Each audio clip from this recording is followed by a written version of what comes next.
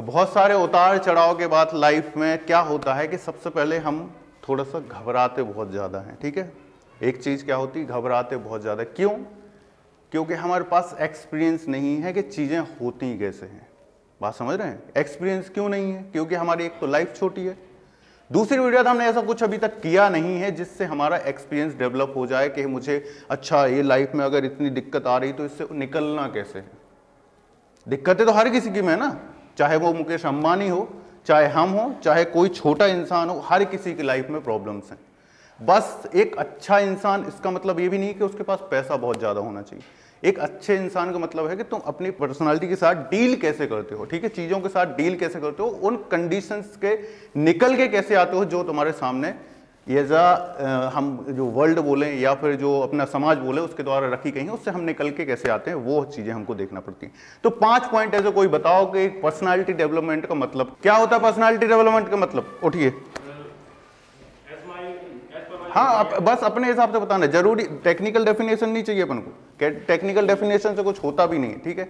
Be practical जो हमको पता है। हम्म।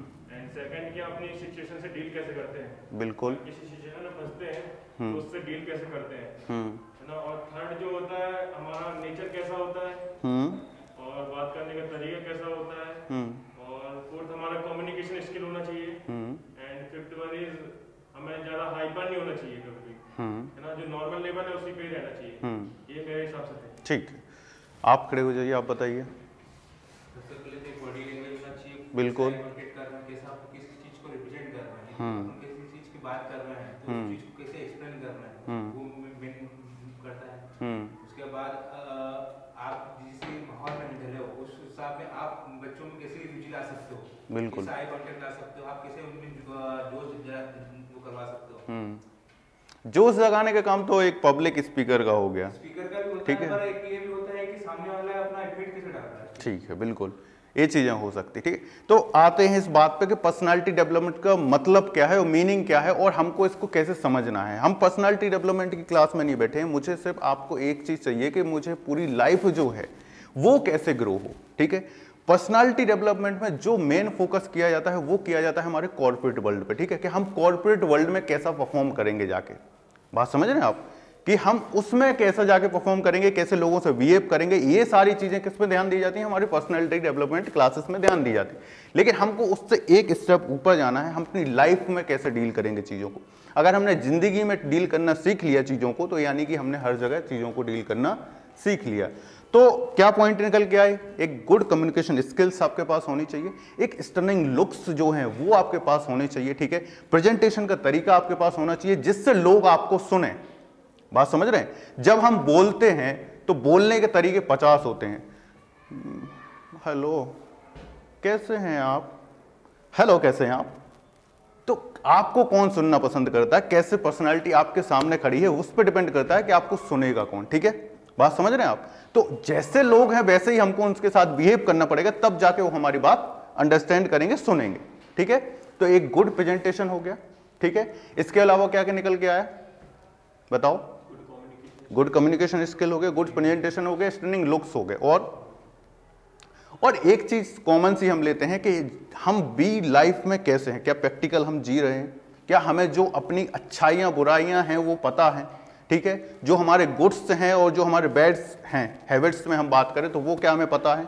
उन सारी चीज़ों से बन के निकलती है हमारी अच्छी पर्सनालिटी ठीक है? एक उतार चढ़ाव की ज़िंदगी हर किसी की और एक हम स्टूडेंट लाइफ की बात करें तो सबसे ज़्यादा प्रेशर हमको यहाँ पर झेलना पड़ता है जब हमारे पास डिग्री होती है लेकिन हमारे पास जॉब नहीं होती है। ठीक है? तो ये चीज़ एक बात याद रखना सबसे पहला पॉइंट ज़िंदगी में कोई चीज़ परमानेंट नहीं है। बात समझ रहे हो? ना ये धरती परमानेंट है, ना हम परमानेंट हैं। सिचुएशन अभी चल रही है, वो परमानेंट है। हर चीज़ बदलने वाली है, ठीक है? तो आज बुरा टाइम टाइम है तो अच्छा भी आएगा अच्छा टाइम है तो बुरा भी आएगा। हमें चीज़ों से डील करना है कि चीज़ों को जब हमारे साथ वो चीज़ें हो रही प्रेजेंट टाइम में हम उनसे कैसे अच्छे से डील करें, उस सिचुएशन के निकल के जाएँ। ठीक है? गीता में कहा गया है, क्या कहा गया है? कर्म योग पे ध्यान दो। हमें कभी भी बहुत ज़्यादा जब हमारे पास खुशी आती कुछ ऐसा मौका आता है कि, अरे, बहुत ज़्यादा खुशी है। तो उस टाइम पे बहुत ज़्यादा एक्साइटमेंट नहीं, मत दिखाओ। बी नॉर्मल और जब हमारे पास बहुत ज़्यादा दुख आता है, उस टाइम पे भी बहुत ज़्यादा सैड होकर मत बैठ जाओ कि लाइफ में अब कुछ होगा ही नहीं। ऐसा नहीं करके बैठना है कि लाइफ में कुछ होगा ही नहीं। क्या हो गया तुमको शैलेंद्र तुम्हारी लाइफ में कुछ ज़्यादा घट रहा है क्या? ठीक है? तो क्या होगा हमारी लाइफ में? हमको ये भी सोचने नहीं चलना है, ठीक है? तो ये हो गई पूरी की पूरी थ्योरी बात कि हमको करना क्या है। लेकिन बी प्रैक्टिकल जब हम बात करते हैं तो हमको सबसे बड़ी बात क्या होती है? कुछ टेक्निक्स हैं जो हमको आजमाना है अपनी लाइफ में, ठीक है? आज आप, मैं इतनी बात कर चुका हूँ, आपने एक चीज़ देख ली होगी कि मेरी जो पिच है लेवल ऑफ़ टॉकिंग है, वो कभी भी एक जैसा नहीं गया इतनी बात में, ठीक है? वो वो up down up down situation के हिसाब से वर्ड के हिसाब से स्पीच के हिसाब से क्या हुआ है? ऊपर नीचे हुआ है।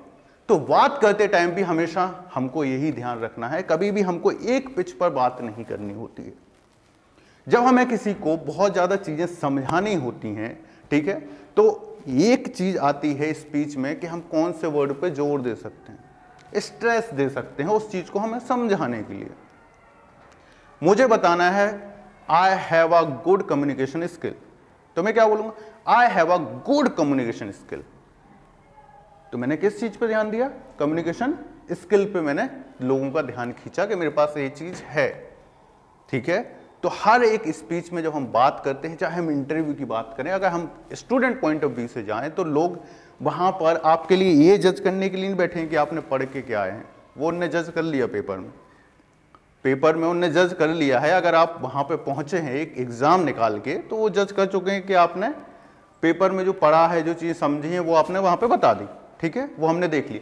अब यहाँ पे मुझे आपको क्या देखना है? मुझे आपकी पर्सनालिटी देखना है। आपका नॉलेज चेक करना है पेपर को लेके नहीं, और एग्ज़ाम और थ्योरी और सिलेबस को लेके नहीं, पूरी दुनिया को लेके आप क्या सोच रखते हैं?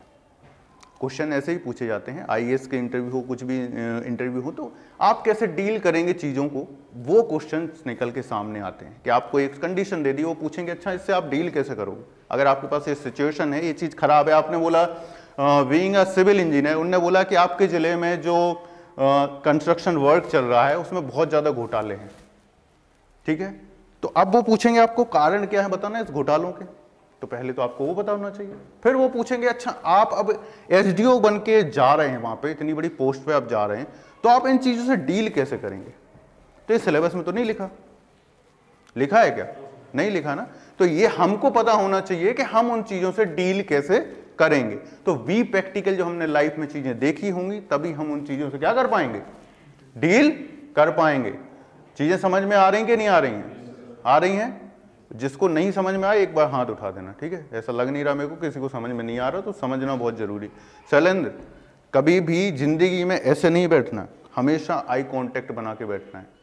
मुझे तभी पता चलेगा कि आपको समझ में आ रही चीज़ें जब आप मेरे से आई कांटेक्ट में रहेंगे, ठीक है? कभी भी इंटरव्यू में ऐसे जाके मत बैठ जाना। भगा देगा उठा के। कोई ऐसी तीन चीज़ें बताओ जिससे हम लाइफ में आगे नहीं बढ़ पा रहे हम इन चीज़ों से नहीं निकल पा रहे हमने तो देख लिया कि ये सब पर्सनालिटी डेवलपमेंट के पार्ट है हमारे पास ये सारी चीज़ें होनी चाहिए। लेकिन वो ऐसे तीन कारण क्या हो सकते हैं जिनके कारण हम आगे नहीं बढ़ पा रहे हैं? हम फॉरवर्ड स्टेप जो है वो नहीं ले पा रहे हैं। क्या कारण हो सकते बताओ? खड़े हो जाओ। तो हमारा एम क्लियर नहीं होता।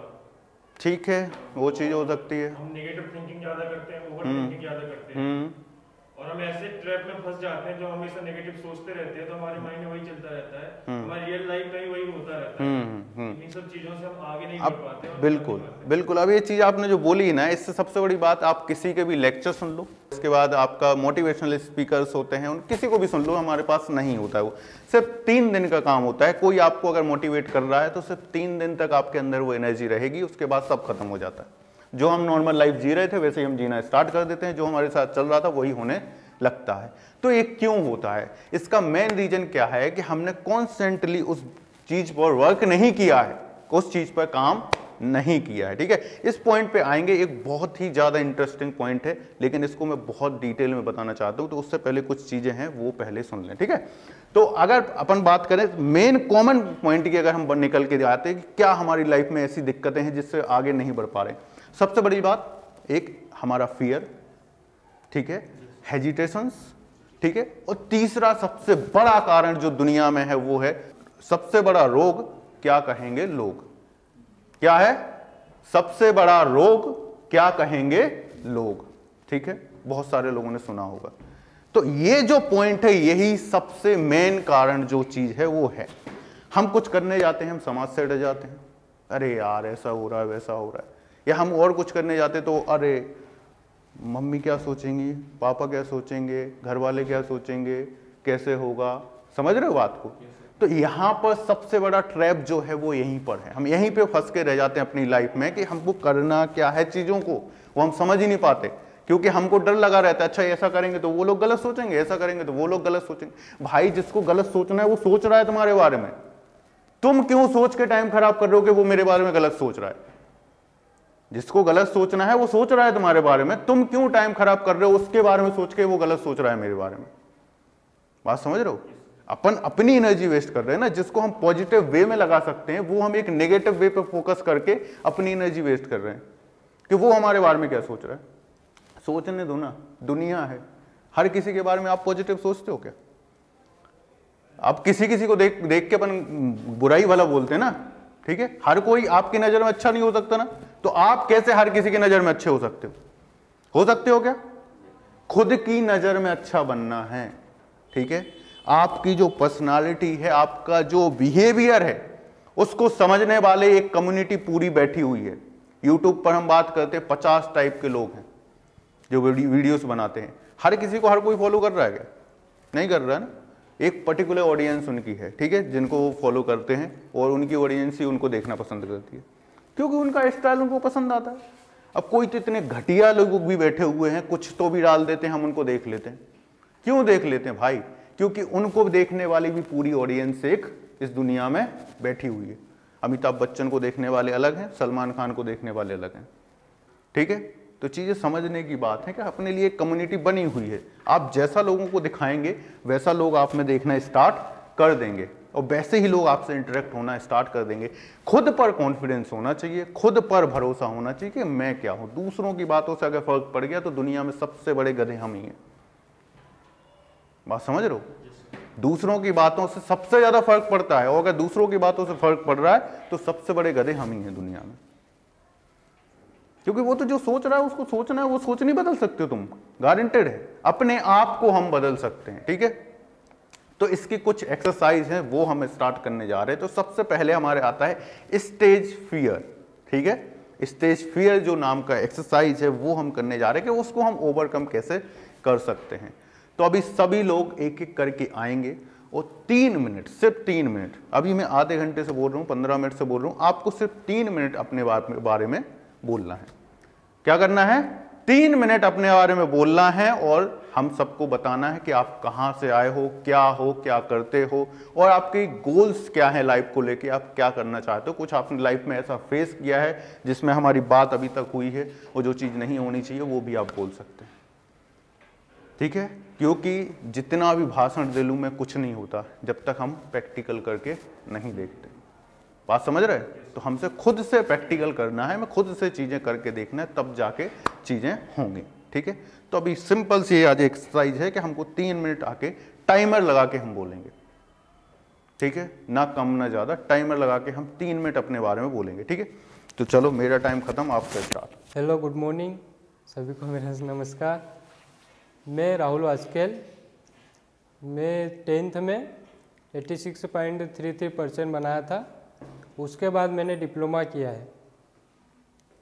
डिप्लोमा इलेवन तक कर लिया था। उसके बाद में मैंने सोचा कि डिप्लोमा करना चाहिए। तो फिर इलेवंथ करा, कुछ फ़ायदा नहीं रहा मेरे को। फिर डिप्लोमा में गया। डिप्लोमा किया मैंने पोलोटेक्निक झाबुआ से। वहाँ से तीन साल रहा मैं हॉस्टल में। हॉस्टल में रहने के बाद में मैंने यहाँ पे एडमिशन लिया बीटेक में। बीटेक करा और अभी चल रहा है थर्ड ईयर बीटेक रनिंग में चल रहा है। और सोचा कि कुछ करना चाहिए। तो मैंने प्राइवेट जॉब भी की थी नेहरू युवा केंद्र में। कुछ हो नहीं रहा था मेरे से। तो सोचा कि मैंने सरकारी जॉब चाहिए। सरकारी जॉब चा, चाहिए तो उनका कुछ करके तो दि, दिखाना है घर वालों को। तो फिर यहाँ पे कोचिंग ज्वाइन की। सबसे बड़ी बात तो 86 सिक्स बैठो यहाँ तो साठ भी नहीं होगी किसी की। ठीक है? बात समझ रहे हो? तो ये चीज़ अपने अंदर कॉन्फिडेंस होना चाहिए। अपनी चीज़ों की वैल्यू करना अपन को ही सीखना है कि मैं कुछ ना कुछ वैल्यू रखता हूँ ना जब मैं इतना चीज़ें करके आता हूँ। मेरे को घूमने का भी बहुत शौक है। तो घूमने के ऐसे बताएँ घूमने का घूमने का शौक है हाँ? सर स्टार्ट करूँ? हेलो फ्रेंड्स जैसा कि आप सभी लोग जानते हैं, मेरा नाम संजय रजक है and I have completed my graduation वो sorry diploma from Naugaon diploma college polytechnic college that's a government college and it's a very good diploma college in over M P and now I am pursuing engineering in I E T D A B B है ना? तो मेरा third year चल रहा है और मैं यहाँ पे नॉन टेक पढ़ने आता हूँ। और जो ये कोचिंग का माहौल है, ये एक नंबर बढ़िया है। मतलब जो टीचर हैं यहाँ पे, जैसे कि साकिब सर हो गए भवदीप सर हो गए, है ना? बहुत अच्छे टीचर हैं। भवदीप सर का तो मैं बहुत बड़ा फ़ैन हूँ, है ना? तो और ये मेरा मतलब ये कैरियर है जहाँ से मैंने ये सब किया है एजुकेशन कहाँ से किया है, और ये चल रहा है अभी, है ना?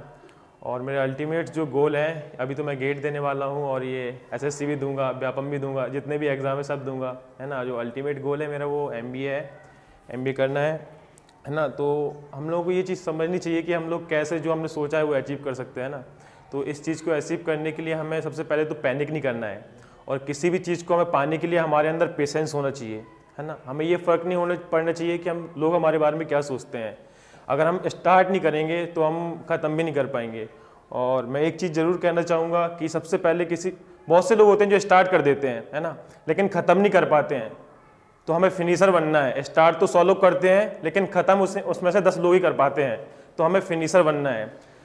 और मेरी लाइफ में कुछ चीज़ें ऐसी हुई हैं, जो मैं आप लोगों से शेयर करना चाहता हूँ। ये टाइम था अप्रॉक्स 2020 का दिसंबर का, जब मैं पास आउट हुआ था डिप्लोमा से। तब मेरे तरह कैंपस आया हुआ था एलएनटी का। ठीक है? तो मैं, जब उसका रिज़ल्ट तो एक महीने, एक साल बाद आया था। तो उसके बाद मैंने आई में क्या हुआ एडमिशन ले लिया था। मैंने सोच रखा था तीन महीने तीन साल में कि मेरे को G S I G S I T S चाहिए है, जो कि एक अच्छा कॉलेज है है ना? तो उसमें मेरा सिलेक्शन नहीं हो पाया था पॉइंट फोर मार्क्स से मैं रह गया था। तो आई में जब एडमिशन मिला तो मेरे को बहुत गंदा लगा, मैं बहुत रोया। मैंने सोचा कि ये कॉलेज अच्छा नहीं है। मेरी एक ऐसी मैंटेलिटी बन गई थी, मैंने सोचा ये कॉलेज अच्छा नहीं है, मेरा कुछ नहीं हो पाएगा। धीमे धीमे करके मैं नेगेटिव थिंग्स में ट्रैप में फंसता गया। और सर, एक टाइम ऐसा आ गया था कि मतलब वहाँ से कम बैक करना बहुत मुश्किल हो गया था। मेरा ग्वालियर में भी ट्रीटमेंट चला, नींद की टैबलेट भी खाई मैंने, है ना? पेरेंट्स परेशान हुए, मेरे फ्रेंड्स परेशान हुए। एक टाइम बाद सबने साथ छोड़ दिया था पेरेंट्स के अलावा। क्योंकि सर, वो भी अपनी प्रिपरेशन कर रहे थे, है ना? बहुत से लोग ऐसे थे जो कंटिन्यू साथ देते रहे। फिर अचानक से एल का कॉल आता कि तुम्हारा सिलेक्शन हो गया है। तब मैं और कंफ्यूज हो गया कि अब मैं ड्रॉप कर दूँ, ये कॉलेज ड्रॉप कर दूँ, कि एल ज्वाइन कर लूँ, है ना? ये सब सोचता रहा।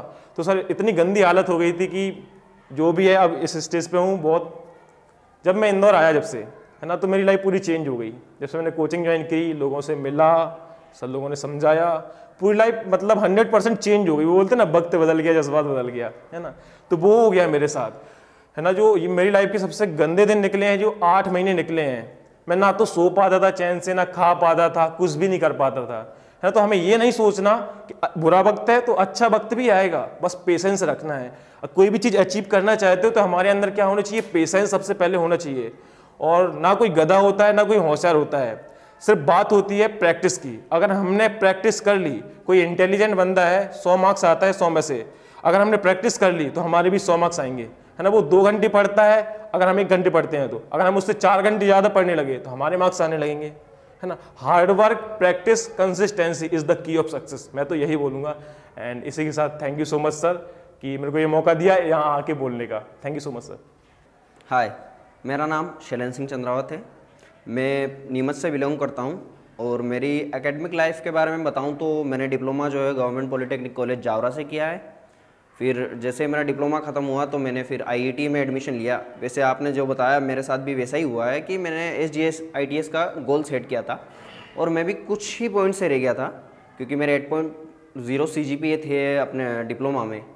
फिर मैंने मेरा मन नहीं था ऐसे इसका आईआईटी का बट मैंने आईआईटी में एडमिशन लिया। फिर जैसे ही मैंने सोचा कि मैं थर्ड ईयर में जैसे ही सेकेंड ईयर में था तो मैंने सो, सोचा सेकेंड ईयर में अब चलो अपन थोड़ा सा कॉलेज को देखते हैं कॉलेज लाइफ को जीते हैं फिर उसके बाद अपन प्रिपरेशन आएँगे थर्ड ईयर से। तो लाइफ में कहीं ना कहीं कोविड की वजह से थर्ड ईयर मेरा पूरा स्पॉइल हो गया।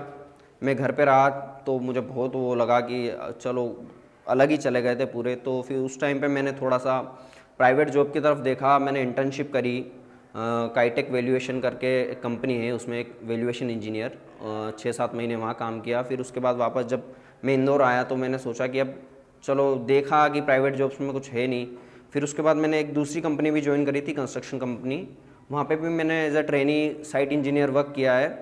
तो वहाँ पे भी थोड़ा सा साइट वर्क का प्रेशर वगैरह साइट इंजीनियर की वो देखा मैंने कंडीशन तो मैंने सोचा कि वहाँ पर मेरा थोड़ा सा इंट्रेक्शन जो हुआ है junior engineer executive engineer assistant engineer इनके साथ में थोड़ा सा इंट्रेक्शन हुआ। वो लोग आते हैं, वो कैसे बिहेव करते हैं, कोई जो ठेकेदार है, वो कोई कंस्ट्रक्शन कंपनी है, उनके ऊपर उनका क्या इफ़ेक्ट रहता है इम्पेक्ट रहता है वो कैसे काम करवाते हैं, उनका जो तरीका है जो डब्ल्यूआरडी जो है राजस्थान का, वो वहाँ पे था। तो मैंने उनका इंट्रैक्शन वगैरह देखा तो मुझे लगा वहाँ से मैं थोड़ा इंस्पायर हुआ कि अपन भी यार ऐसा कर सकते हैं, कि अपन दस आदमी को बता सके कि तुमने ये गलत किया। जैसे कि, या अपन उनको बोल के सही करवा सकते किसी काम को। कोई गलत कर रहा तो अपन उसको बोल सकते हैं। या कुछ गलत हो रहा हो तो अपन उसको, जैसे कि मेरे साथ एक इंसिडेंस ये हुआ था कि हमने कुछ थोड़ा सा जो एज ए डिज़ाइन था ड्राइंग था, उसके हिसाब से काम नहीं किया।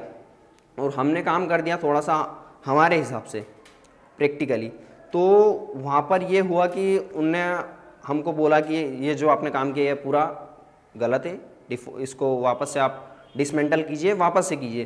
तो वहाँ वहाँ से मुझे थोड़ा वो मिला कि इंस्पायरेशन मिली कि हाँ यार, अपन भी ये कर सकते हैं। तो फिर वापस मैं इंदौर आया और मैंने फिर नेविगेट इंस्टीट्यूट ज्वाइन किया। इसके अलावा मेरा अभी तक का, मैं फाइनल ईयर में हूँ आईटी में। ये मेरा एकेडमिक्स है। ये इंटर्नशिप वगैरह है। अब मेरी हॉबीज़ के बारे में आपको मैं बताऊँ तो मेरे को ज़्यादा से ज़्यादा लिसनिंग सॉन्ग्स ये गाने सुनना अच्छा लगता है। फुटबॉल वगैरह मैं देखता रहता हूँ, क्रिकेट वगैरह में मेरा इंटरेस्ट है। थोड़ा बहुत पॉलिटिकली थोड़ा सा जैसे करंट अफेयर्स वगैरह, इनसे थोड़ा, इसमें ज़्यादा इंटरेस्ट है मेरा। जैसे नॉन टेक्निकल सब्जेक्ट होगा इनमें भी।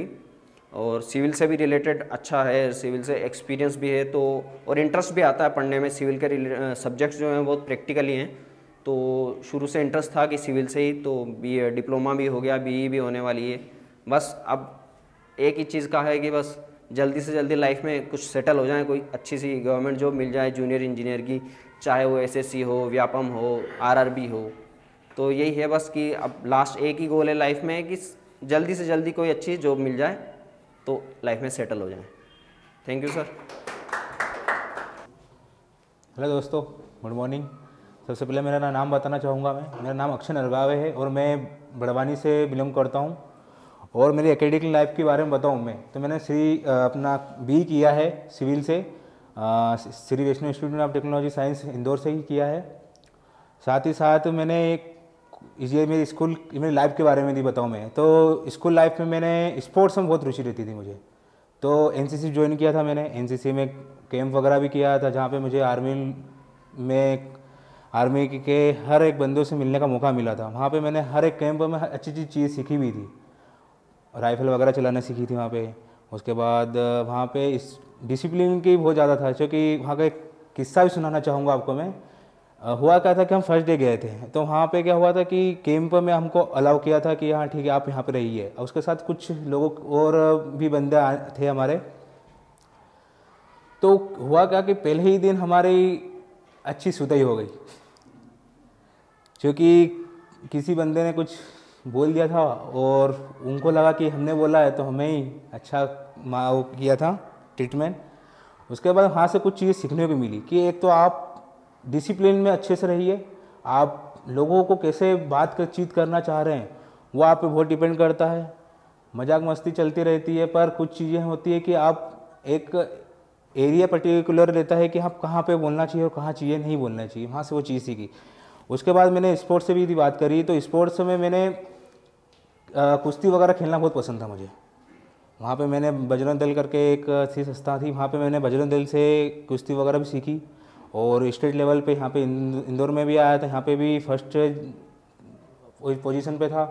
उसके बाद आगे आगे बढ़ने की और कोशिश कर रहा था, पर हुआ क्या कि कुछ तबीयत वगैरह ख़राब होने के कारण वापस छोड़ देना पड़ा। उसके बाद यहाँ पे मैंने इंजीनियरिंग की। तो यहाँ पे भी कॉलेज लाइफ तो थी, अच्छी थी हॉस्टल में लाइफ थी। हॉस्टल की लाइफ तो सबसे बेस्ट ही रहती है। हर कांड करने को मौका मिल जाता है, हर चीज़ सीखने को मिल जाती है, हर उत्पाद करने को सीखने को मिलता है वहाँ पे तो। दोस्त होते बॉन्डिंग वगैरह अच्छी होती है कम्युनिकेशन अच्छा होता है, कैसे मैनेजमेंट करना है, वो अच्छी चीज़ें सीख होती है। उसके बाद और बड़ी लाइफ बढ़ती चलती गई, उसके बाद देखा कि यार आगे करना है क्या है? कोई फिक्स नहीं था कि गोल क्या करना है, ठीक है।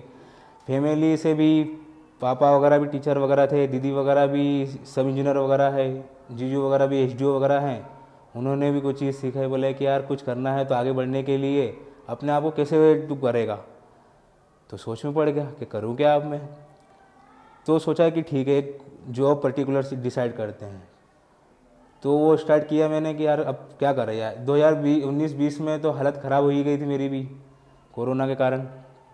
और ज़्यादा डिप्रेशन में चलता गया कि अब कुछ ना कुछ करना ही पड़ेगा। करें क्या लाइफ के हिसाब से? फिर सोचा कि यार नहीं, हमें मुझे कुछ करना चाहिए। तो उसके लिए मैंने एक डिसाइड किया कि मैं करूँ क्या पहले तो। मैंने डिसाइड दो थिंकिंग जोड़ी है। या तो एक जॉब करूँगा या खुद का बिज़नेस खोलूँगा। उसके अलावा कुछ नहीं करूँगा। क्योंकि यदि यदि मैं किसी के अंडर में काम करता हूँ प्राइवेट जॉब करता हूँ तो कितना कमा पाऊँगा? एक, साल में कम से कम बीस हज़ार दो, तीन लाख, चार लाख, पाँच लाख, दस लाख तक कमा सकूँगा। उसके बाद डिसाइड किया कि यार मैं यदि इस चीज़ फ़ील्ड में घुसता हूँ, दो फ़ील्ड चूज़ चूज़ की। एक तो बिज़नेस में और एक गवर्नमेंट जॉब में। गवर्नमेंट जॉब में यार ठीक है लाइफ सेटल हो जाएगी, चीज़ें हो जाएगी, एक इम्प्रूवमेंट हो जाएगा, एक थोड़ा वो भी गट से भी रहेंगे कि हाँ एक पावर भी रहेगी कि हाँ एक गवर्नमेंट जॉब में। और प्राइवेट में देखा है कि यार यदि मैं ना पूरी लाइफ यदि गवर्नमेंट जॉब में लेता भी हूँ पैंतीस साल की नौकरी रहती है, उसके बाद मिला कितना? ज़्यादा एक करोड़, दो करोड़ से ज़्यादा कमा भी नहीं पाओगे।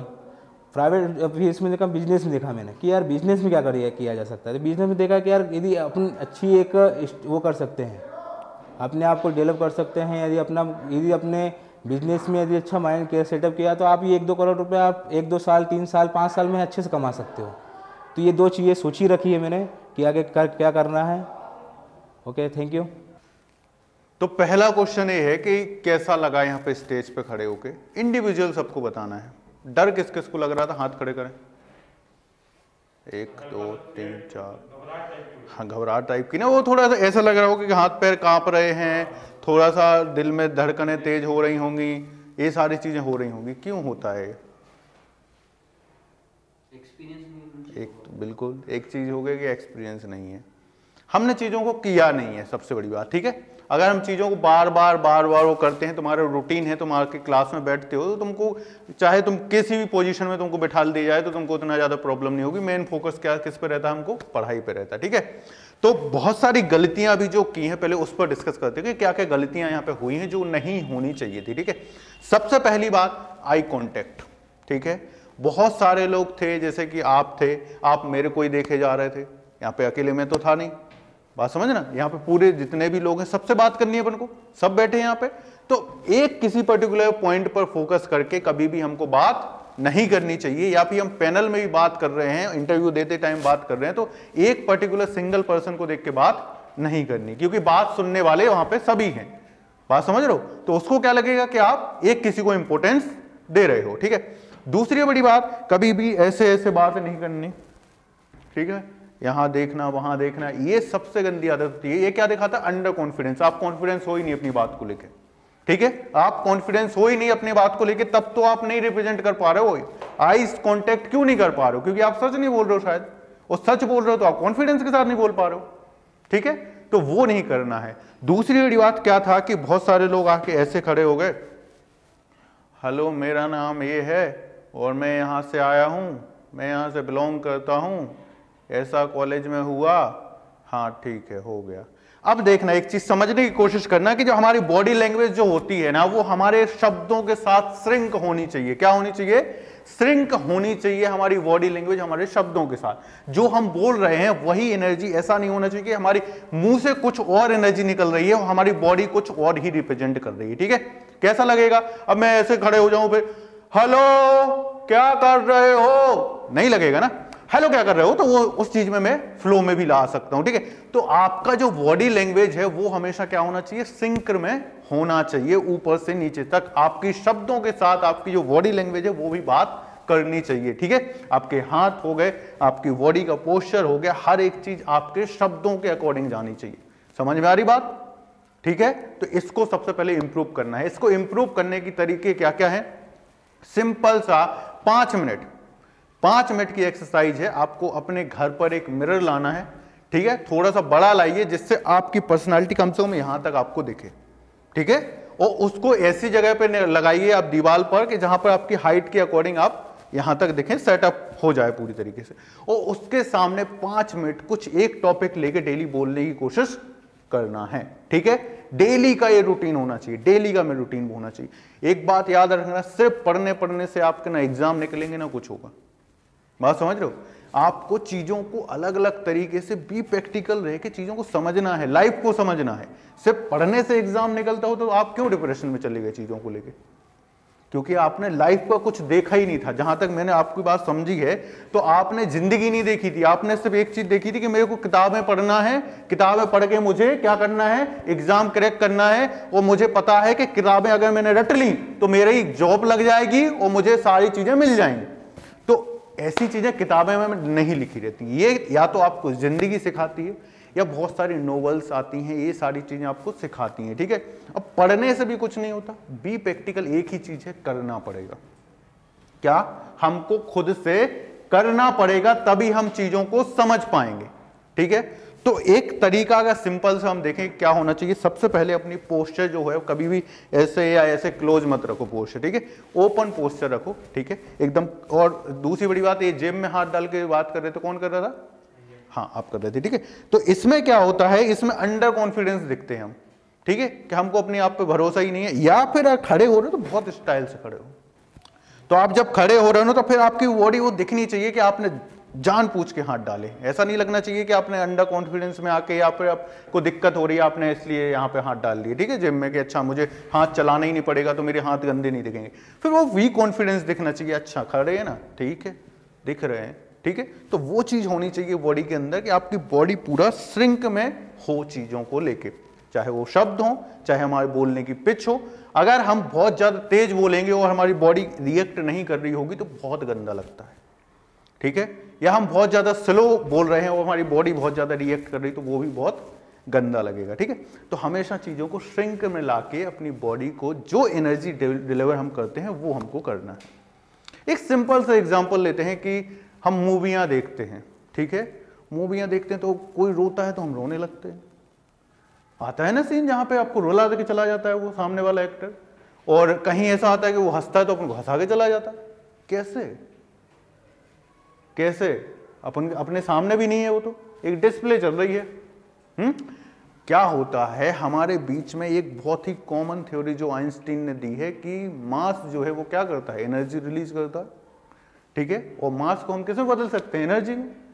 तो हमारी जो बॉडी का मास है, उसी को हम क्या बदल रहे हैं? एनर्जी में बदल रहे हैं। अगर मैं बोल रहा हूँ तो मेरे क्या है, जो चीज़ें वेट है, वो सारी चीज़ें उसमें क्या हो रहा है? कम हो रहा है। अगर मैं लगातार बोलूँगा तो मेरी एनर्जी वेस्ट हो रही है ना? एनर्जी खर्च हो रही।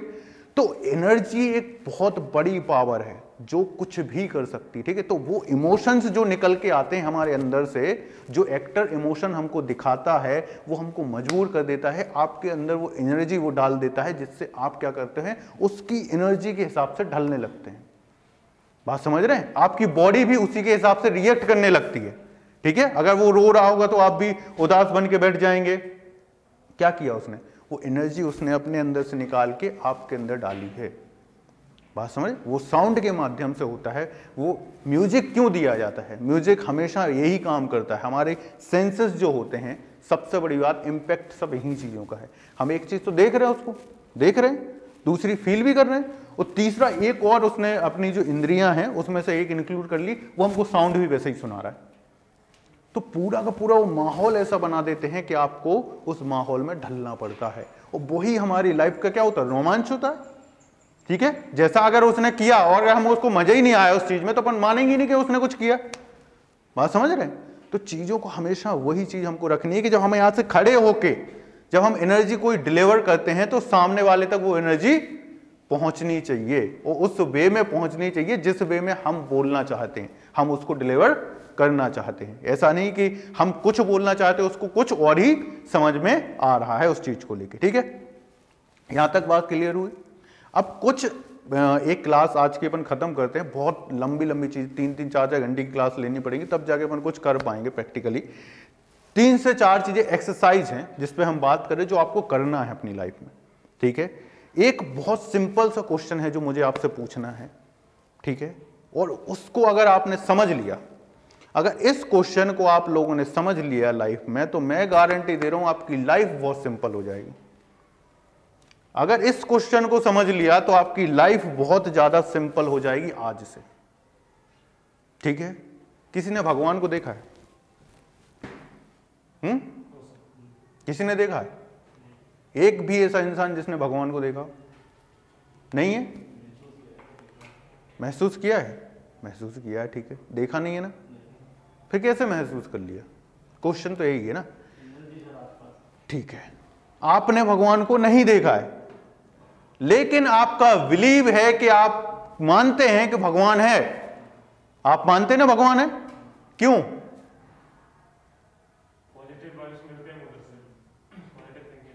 एक चीज़ पॉजिटिव थिंकिंग नहीं है वो पावर वो चीज़ नहीं है। वो चीज़ तो ऐसा कि आपको पॉजिटिव थिंकिंग तब मिलेगी ना जब आपको कोई बता रहा हो ये सारी चीज़ें। मैं तो सिर्फ़ इतनी बात कर रहा हूँ कि आपको जब जिस चीज़ को आपने देखा ही नहीं कुछ नहीं किया तो आप कैसे मानते हैं कि वो चीज़ है? एक बिलीफ है सर। बिल्कुल। लेकिन वो बिलीव आया कहाँ से? सब वो कर रहे हैं। कहीं ना कहीं देख के आदमी इंस्पायर होता है बिल्कुल। एट्टी परसेंट लोग इंजीनियरिंग क्यों कर रहे हैं? क्योंकि उसके दोस्त कर रहे हैं या उसके घर में ऐसा माहौल बना दिया जाता है। जैसे हम लोगों ने इंजीनियरिंग की। जब आईआईटी में नहीं हुआ मगर फिर भी हम लोगों ने की। कहीं ना कहीं क्यों? क्योंकि उसमें हमें खूब दिखाई थी कि ठीक है भैया ग्रेजुएट कर लो तो Right point. कुछ ना कुछ अच्छा हो जाएगा। अब हुआ क्या है स्टार्टिंग से? भगवान कहीं नहीं है। हमको पता भी नहीं। हो सकता है भगवान है ठीक है? एनर्जी जो आपने बोली वो फील होती है बिल्कुल होती है ठीक है? अब वो एनर्जी आती कहाँ से? वो सिर्फ़ एक ही चीज़ से आती है वो हमारे बिलीफ सिस्टम से। कहाँ से आती है? हमारे बिलीफ सिस्टम से सुबह से जब हमारी ज़िंदगी की शुरुआत हो रही थी तो मेरी माँ ने बताना स्टार्ट कर दिया भगवान नाम की कोई चीज़ होती है जो इस संसार को चला रही है। मम्मी उठा जैसे ही मम्मी ने बिस्तर से उठाया नहला धोया और मंदिर में जाके बैठा दिया बेटा इनकी प्रार्थना करो ये भगवान है। वहाँ कोई नहीं था। वहाँ एक मूर्त पड़ी हुई थी एक पत्थर की मूर्त थी एक कुछ फोटोस रखे हुए थे लेकिन हमको क्या बताया गया ये कौन है? भगवान है। हमने देखा नहीं भगवान को। लेकिन सालों साल हमारे साथ वो हुआ है। क्या हुआ है? सालों साल वो बिलीफ सिस्टम हमारा डेवलप कराया गया कि भगवान नाम का कोई है जो इस दुनिया को चलाता है। ठीक है? और वहीं आप फील करना कि आपको फील हो जाएगी चीज़ें। अगर हम बोलते हैं कि भगवान ऐसा हो जाए, ये हो जाए, वो हो जाए कहीं कहीं चीज़ें हो जाती हैं। वो भगवान नहीं कर रहा है। एक चीज़ समझने की कोशिश करना। वो आपका बिलीफ सिस्टम कर रहा है। आप एक चीज़ हमने देखी है कि कोई एक गाँव में अपन जाते हैं कोई अपने पुजेव होते हैं पुजेव जानते हो ना सब लोग जानते हैं जैसे पर्सनल जिसके भगवान होते हैं ठीक है? कुल देवता जिसको बोलते हैं ठीक है? कोई उनकी पूजा कर रहा है उसको उस, उन पर बहुत तगड़ा बिलीव है ठीक है? हमारी समाज में इतने सारे वो हैं हम बात करें कि धर्म की अगर बात करें तो हिंदू मुस्लिम सिख ईसाई और बौद्धिज्म ठीक है? इतने धर्म हम फॉलो करते हैं अभी के डेट में ठीक है? और भी बहुत सारे हैं, लेकिन अभी जो मेजर धर्म है, वो ये हम फॉलो करते हैं। तो अब उनने एक डेफिनेशन दे दी। मोहम्मद जो थे, उनने एक डेफिनेशन दे दी कि अल्लाह नाम की कोई चीज़ है, जिसको ना हमने देखा है, और ना कोई उसका रूप, रंग कुछ भी नहीं है। अब उनने तो ये भी डेफिनेशन दे दी। हमारे हिंदू पौर- पौराणिक में चीज़ बताई गई कि भगवान ऐसे होते हैं, कृष्ण भगवान है, राम भगवान है, ये हैं, वो हैं। उनने तो सीधी सीधी बात बोल दी कि ऐसा कोई है ही नहीं, बस एक एनर्जी है जो सब कर रही है। ठीक है? उसका ना रंग है, ना रूप है, ना कुछ है। सही बात है ना? उनने यही बोला है कि उसने, उनके कोई भगवान नहीं है, उनकी कोई मूर्त नहीं है, कुछ नहीं है, ठीक है? वो बिलीफ सिस्टम है सिर्फ़ कि ऐसा कोई है जो ये कर रहा है, ठीक है? हमारे ईशा मसीह पैदा हुए, ठीक है? उन्होंने चीज़ों को बताया कि अच्छा ऐसी चीज़ें होती हैं, वो होती हैं तो वो चीज़ें हो रही थी। तो अगर हम डेफिनेशन निकालने जाएँगे तो सिर्फ़ यही निकलती है कि जो उस टाइम का महान व्यक्ति रहा है, चाहे हम कृष्ण जी की बात करें, कृष्ण जी को कैसे देखते हो यार? उसके जितना टैलेंटेड बंदा इस दुनिया में पैदा नहीं हुआ। बात समझ रहे हो? उसने जहाँ बिज़नेस किया तो हिला के रख दिया पूरी दुनिया को। गढ़ भी बनाया तो उन्होंने जाके कहाँ बनाया? गुजरात में बनाया। चारों तरफ़ से पानी, एक जगह से निकलने का रास्ता। बहुत ही बुद्धिमान, बहुत ही बुद्धिमान। उनके जितना बुद्धिमान इस दुनिया में पैदा ही नहीं हुआ। तो जो इस सदी के महान इंसान थे, उनको क्या बना दिया हमने? भगवान। बात समझ रहे आज हमारे बाबा हैं जिनको है, क्यों हम पूछ रहे हैं? सिर्फ़ उन्हीं उसी चीज़ों की वजह से ना कि वो एक पैगंबर पैगंबर यानी जो भगवान का संदेशा हम तक पहुँचा रहा है। वही चीज़ हम कर रहे हैं।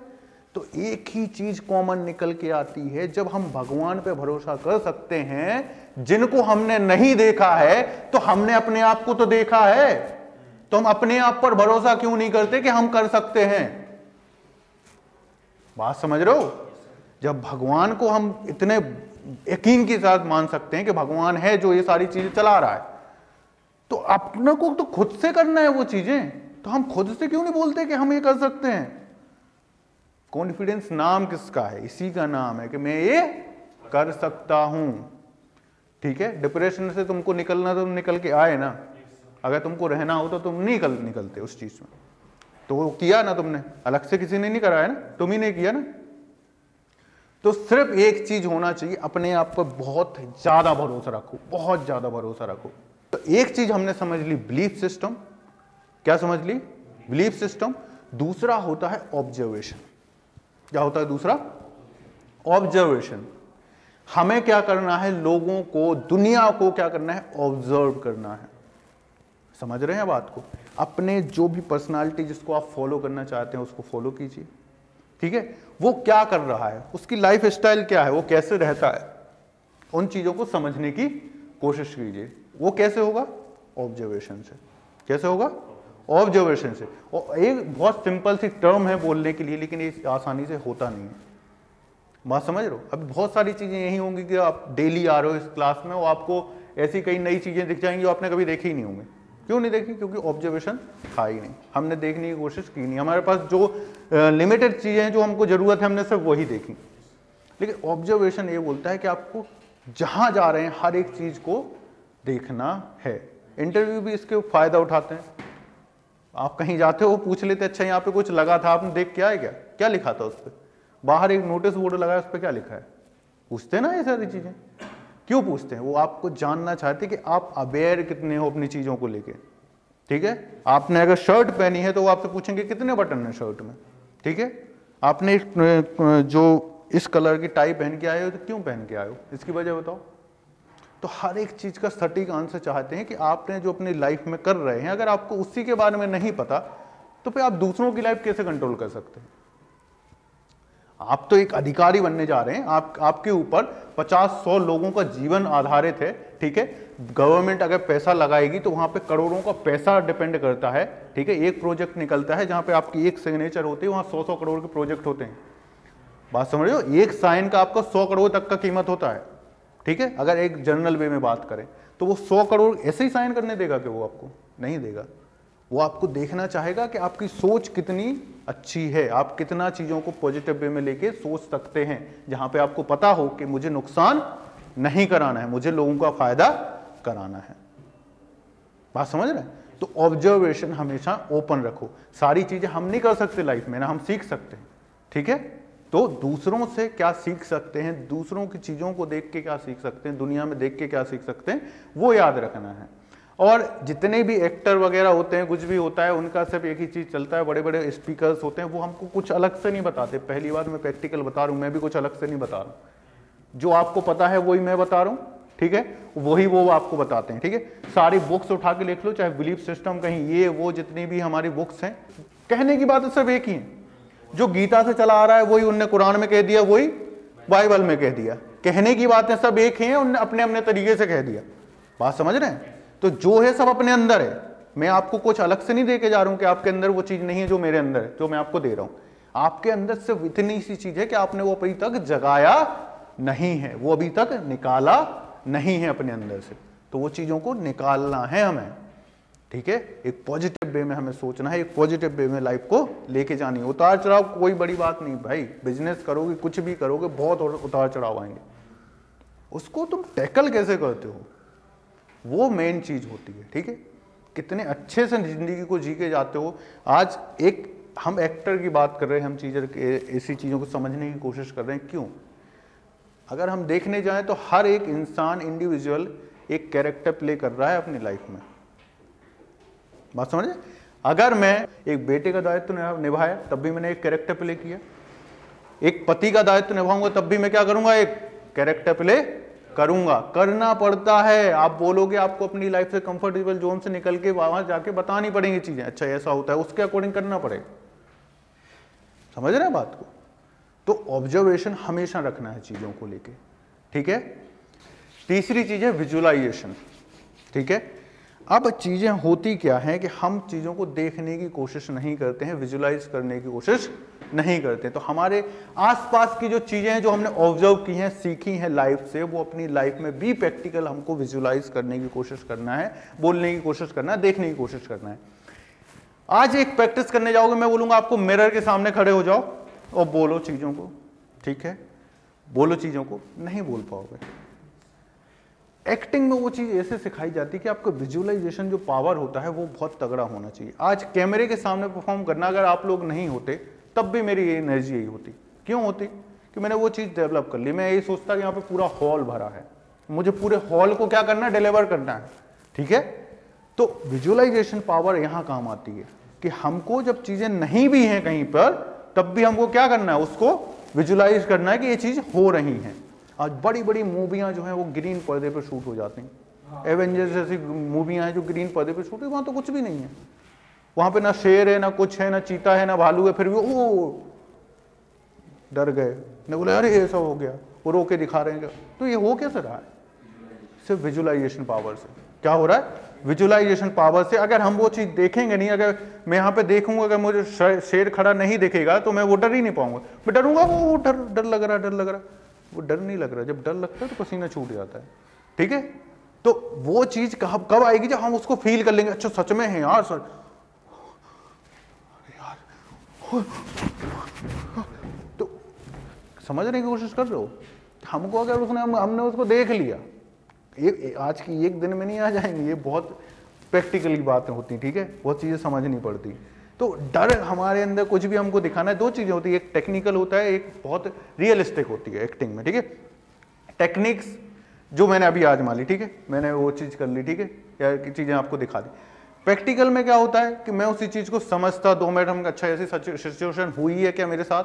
उसको मैं ऑब्ज़र्व करता, उसको अच्छा उसमें जाता, थोड़ी देर बैठ के, फिर मैं परफॉर्म करता। ठीक है? तो वो रियलिस्टिक एक्टिंग में ज़्यादा चीज़ें आती हैं। हम अपनी लाइफ से रिलेट करते हैं। ठीक है? तो जब बार बार बार वो चीज़ें होती तो हमारे पास एक टेक्निक डेवलप हो जाती है कि हमको वो चीज़ करना क्या मुझे दो सेकंड लगेंगे, मेरी आँख में आँसू आ जाएँगे। दो सेकंड लगेंगे, मैं यहाँ रोना स्टार्ट कर दूँगा। दो सेकंड लगेंगे, मैं यहाँ पे हंसना स्टार्ट कर दूँगा सबको हंसा दूँगा। तो सिर्फ़ टेक्निक है। वो चीज़ क्योंकि डेवलप किया है, वो बार बार बार बार करके हमने वो चीज़ डेवलप की है। तो ये चीज़ बहुत काम आती है। मैं तुमको बताऊँ नहीं रियल लाइफ में तो ये चीज़ बहुत काम आती है। सिर्फ़ इतना थॉट रखो कि अगर छह महीने मैंने मेहनत करके अगर एक जॉब हासिल कर ली तो जितने भी घर वाले, बाहर वाले, जो बोल रहे हैं, सबके मुँह बंद हो जाएँगे। ठीक है? सब चेंज हो जाएगा, पूरी लाइफ ही बदल जाती, एक झटका लगता है एक मोमेंट एक रिज़ल्ट और सब चेंज अब वो दिक्कत ये है कि स्ट्रगल हर किसी का अलग अलग है, ठीक है? हर किसी का स्ट्रगल अलग अलग है। मैं बोलूँ कि आज मेरे से छोटी उम्र के लोग मेरे से अच्छा परफॉर्म कर रहे हैं, भले ही मैं उनसे अच्छा जानता हूँ। मैं उनसे बहुत अच्छा नॉलेज रखता हूँ, लेकिन मेरी छोटे उम्र के लोग मेरे से अच्छा परफॉर्म कर रहे हैं। उनकी किस्मत अच्छी थी, ठीक है? उनको थोड़ा पहले मिलना था उस लाइफ में। तो उनको मिल गया। अपन को हो सकता है थोड़ा लेट मिल रहा हो, लेकिन होप नहीं छोड़ना है। होप नहीं छोड़ना है। हम बात करते हैं किसकी? अमेरिका के राष्ट्रपति। Abraham Lincoln. उसने अगर होप छोड़ दी होती तो बनता क्या? उसका पहले तो कुछ कुछ था ही नहीं ना वो इंसान। है? कोई जानता भी नहीं था कि इंसान है कौन इस दुनिया में। लेकिन पचास साल की एज में अपने कॉन्फिडेंस को लेके, अपनी चीज़ों को लेके क्या प्रेसिडेंट पद पर बैठा। आज पूरी दुनिया जानती उसको। तो हो सकता है हमारी लाइफ में थोड़ा लेट हो। ठीक है? चीज़ें जो प्लान है, वो थोड़ी लेट हो, लेकिन चीज़ों से डरना नहीं है। बी कॉन्फिडेंस लेके लाइफ को एंजॉय करो, उसको रहो, वैसे ही चीज़ों को रखो, ठीक है? हर चीज़ का मज़ा लो। ऐसा ज़िंदगी में वो नहीं रखना है कि, अरे, मुझे से पढ़ना ही पढ़ना है तो मैं किसी से और मिलूँ, नहीं, ये नहीं करूँ, वो नहीं। आपको पता होना चाहिए, आपको टाइम कहाँ ख़राब करना है, आपके पास टाइम कितना है। बात समझ? वो मुझे पता होना चाहिए कि मुझे अगर टाइम पास करना है, मुझे क्या करना है तो मेरे पास दो घंटे हैं। मैं जाऊँगा, मज़े करूँगा, दो घंटे बाद वापस आ जाऊँगा, दो घंटे बाद फोकस पे वहीं होना चाहिए। बात समझ रहे हो? अभी हम गए, घूम के आए, पाँच छः दिन का हमने टूर लगाया। चार महीने से काम कर रहा था मैं लगातार। फ़र्स्ट एड हो गया था, ठीक है। वो चार महीने में हमको चार पाँच दिन का रिलैक्स हुआ। हमारे दोस्त आए, घूमे, फिरे। थोड़ा रिलैक्सेशन हुआ, फिर से बैक टू वर्क चल रहा है ना काम। अब हम डेली तो नहीं जा रहे ना उनसे मिलने के लिए, कि डेली हम मिल रहे हैं चीज़ों को लेकर ठीक है? तो ये चीज़ें हमको याद रखनी है। तीसरा पॉइंट हमारा क्या होता है? इम्प्रोवाइजेशन तो इम्प्रोवाइजेशन की जो सिचुएशन मैंने अभी बताई ना, वही है। जो मैंने गाड़ी से निकलने वाली और जो मैंने कर दिया वहाँ पे चीज़ों को देख के मतलब इम्प्रोवाइजेशन का सिर्फ़ सीधा सीधा मतलब ये है कि आपको एक ऐसी कंडीशन में फंसा दिया जाता है, जिसको आपको पता ही नहीं कि निकलना कैसे। एक ऐसी कंडीशन में आपको भेज दिया, जिसका आपको ए बी सी डी कुछ भी नहीं पता। अब आपको उसको निकलना है। वो कैसे निकल पाओगे आप? कैसे निकल पाओगे? अगर आपको ऐसी प्रैक्टिस होगी चीज़ों को लेकर आपने उस पर ध्यान दिया होगा तो आप निकल पाओगे।